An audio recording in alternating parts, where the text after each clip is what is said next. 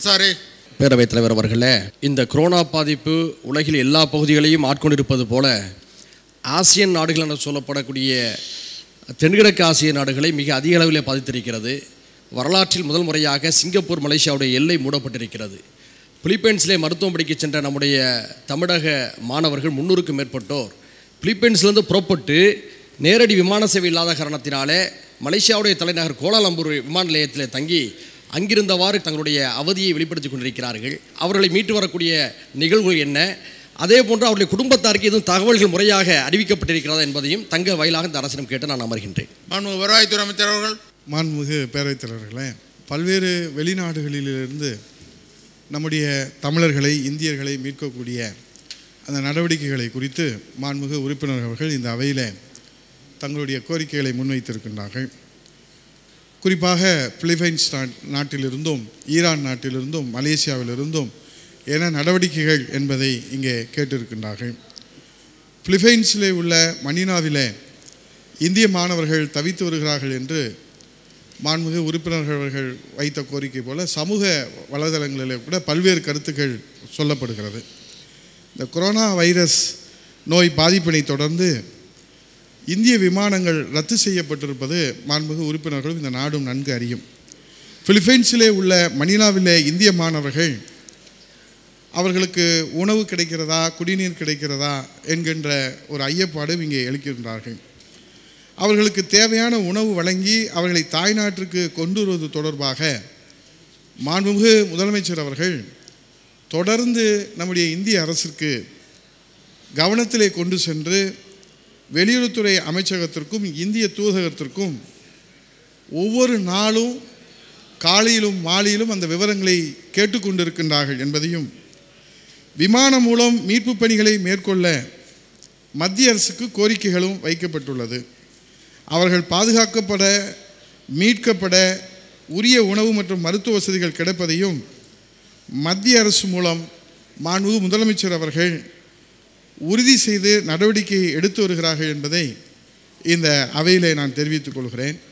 அதேபோல் மலேசியா விமான நிலையத்தில் இருநூறு இந்திய மாணவர்கள் தவித்து வருகின்ற அந்த நிலையில் இந்த இருநூறு இந்திய மாணவர்கள் கோலாலம்பூர் விமான நிலையத்தில் தவித்து வருகிறார்கள் என்கிற அந்த செய்தியில் நம்முடைய தாய்நாட்டிற்கு அவர்களை அழைத்து வருவதற்கு மாண்புமிகு முதலமைச்சருடைய உத்தரவின் பேரிலே பதினேழு மூணு ரெண்டாயிரத்தி இருபது அன்று நம்முடைய தமிழ்நாடு அதிகாரிகள் இந்திய வெளியுறவுத்துறை அமைச்சகத்தையும் கோலாலம்பூரில் உள்ள இந்திய தூதரகத்தையும் தொடர்ந்து தொடர்பு கொண்டு அதற்கான நடவடிக்கைகளை மேற்கொண்டு வருகிறார்கள்.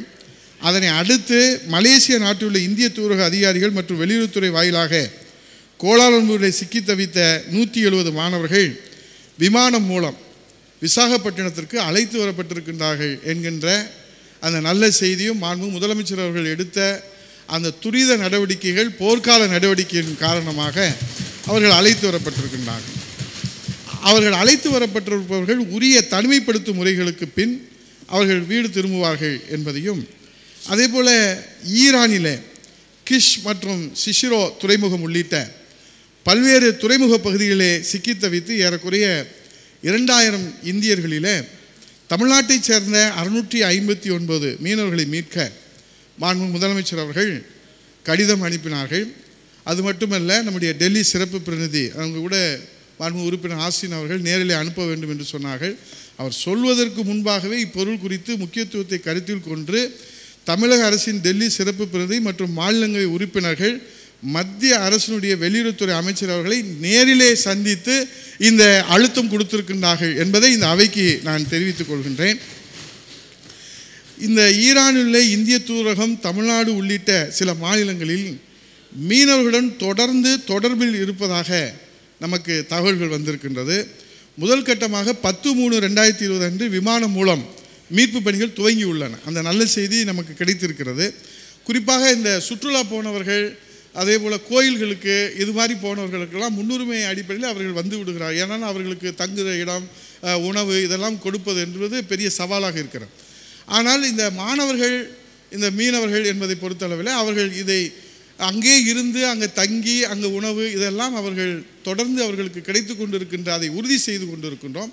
ஆகவே அது கிடைக்காத இந்த சுற்றுலா பயணிகள் எல்லாம் முன்னுரிமை அடிப்படையில் அவர்கள் அழைத்து வரப்படுகின்றார்கள் என்பதை இந்த அவையிலே தெரிவித்து மாண்புமிகு பேரத்தலைவர்களே மாண்புமிகு முதலமைச்சர் அவர்கள் இந்த கொரோனா வைரஸை இன்றைக்கு நான் இதை இந்த அவையில் பெருமையாகவோ சாதனையாகவோ சொல்லவில்லை. ஏனென்றால் உலகெங்கும் அச்சத்தோடு இருக்கின்ற இந்த வேலையில் தாய் தமிழகம் உலகத்துக்கே வழிகாட்டுகின்ற வகையிலே ஒரு பாதுகாப்பு அரணை இன்றைக்கு அமைத்திருக்கிறது. இப்போ கூட பார்த்தீர்களா இந்த வெளிநாடுகள் பற்றி கேட்டார்கள். உள்நாட்டிலே கூட ஒவ்வொரு நாளும் எடுக்கப்படுகிற நடவடிக்கைகளில் எல்லைப்புற வட்டங்கள் நம்முடைய வருவாய்த்துறையில் நாற்பத்தி நான்கு இருக்கிறது. அதில் எண்பத்தி எட்டு அந்த செக் போஸ்ட் அமைத்து இன்றைக்கு ஒரு பாதுகாப்பு அரண் எப்படி போர்க்காலங்களே மன்னர் காலங்களே எதிரிகள் படையெடுத்து வருகிற போது பாதுகாப்பு அரண் அமைத்து எதிரிகளே உள்ளே விடாமல் பாதுகாக்கிற மன்னன் சிறந்த மன்னன் என்று வரலாற்றிலே இடம்பெற்றிருப்பதைப் போல இந்த கொரோனா வைரஸ் இன்றைக்கு உலகமே அச்சத்திலே மூழ்கி இருக்கிற போது மாண்பு முதலமைச்சர் அவரும் அவருடைய அறிவுரை பெற்று மாண்பு மக்கள் நல்வாழ்வுத்துறை அமைச்சர் அவர்களும் அனைத்து துறையுடைய செயலர்களும் இரவு பகலாக பாடுபட்டு இன்றைக்கு எத்தனை பெரிய அச்சுறுத்தல் இருந்தும் இந்த தாய் தமிழகத்தை காக்க முடியும் என்பதை இன்றைக்கு நிரூபித்து காட்டியிருக்கின்றார் ஒவ்வொரு நாளும் மாண்பு முதலமைச்சர் அவர்கள் காலையிலே மாலையிலும் கூட அனைத்து துறையுடைய செயலர்கள் அனைத்து அமைச்சர்கள் துறைவாரியாக என்ன நடவடிக்கைகள் எடுக்கப்பட்டிருக்கிறது என்பதை இங்கே எத்தனை பஸ்ஸுகள் போக்குவரத்துறை அமைச்சர்னா அவர் எத்தனை பஸ்ஸுகளை தூ- தூய்மைப்படுத்துறீங்க அதில் எத்தனை பயணிகள் வந்தாங்க மாண்பு மக்கள் நல்வாழ்வுத்துறை அமைச்சர் அவரே ரயிலில் போய் நோட்டீஸ் கொடுக்குறாரு அவரே அங்கேயே சுகாதார பணியில் ஈடுபடுகிறார்கள். அவர் எதற்காக இதை சொல்லுகிறேன் என்று சொன்னால் எவ்வளவு இந்த அரசு ஈடுபாட்டோடு மக்களை காக்கின்ற அரசு அம்மாவுடைய அரசு மாண்புமிகு முதலமைச்சர் என்பதை சொல்லி எந்தவித அச்சமும் நீங்கள் பட தேவையில்லை. மாண்புமிகு உறுப்பினர் ஆசின் அவர்கள் உணவில்லை தண்ணீர் இல்லை தவிக்கிறார்கள். அந்த நிலை இல்லை என்பதை மாண்புமிகு பேரவைத் தலைவராக இந்த அவைக்கு நான் தெரிவித்து அமைகிறேன்.